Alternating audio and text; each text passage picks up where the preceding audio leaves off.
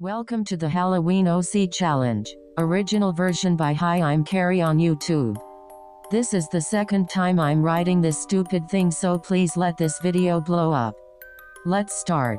Like most challenges, you may pick the skin color, gender, and the height of your OC. If your favorite color is purple, your OC will have a non-scary costume.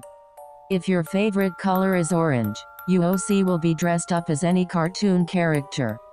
If your favorite color is black, your OC will dress up as the original and stereotypical Halloween costumes, like a ghost or zombie.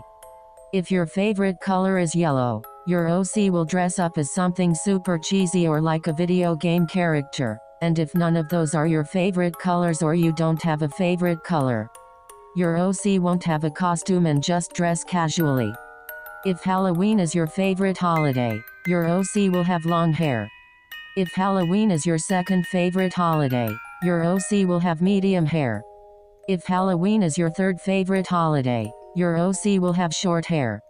And if Halloween's your fourth favorite holiday or you don't like Halloween, your hair will be in pigtails.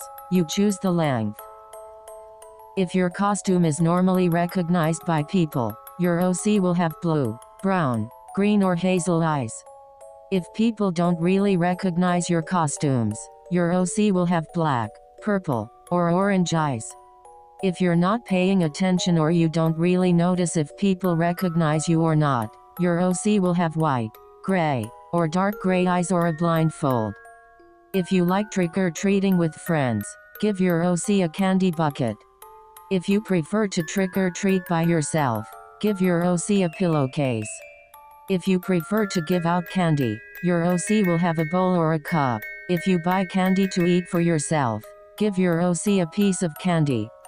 And if you just stay home and watch scary movies, give your OC popcorn or french fries. You can pick everything else about your OC. I hope you enjoyed this challenge. Bye guys, and happy Halloween.